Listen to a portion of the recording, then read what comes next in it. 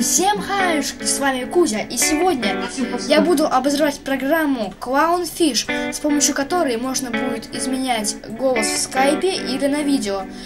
Как захотите, это вообще не важно. Короче, смотрите. Чтобы запустить программу Clownfish, надо сначала ее активировать, то есть надо ее запустить. Изначально, если вы скачаете Clownfish, она у вас, она у вас будет английской.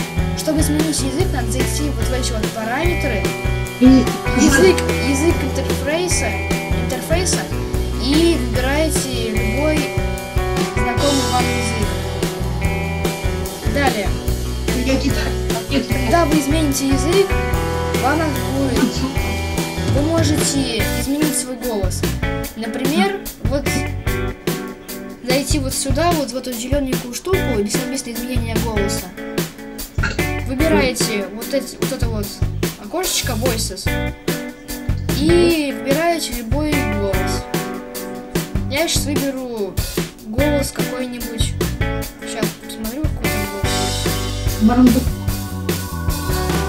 Я выберу, я выберу голос Барбатика. Например, вот такой вот шикарный голос. Вам нравится, мне тоже нравится, все шикарно.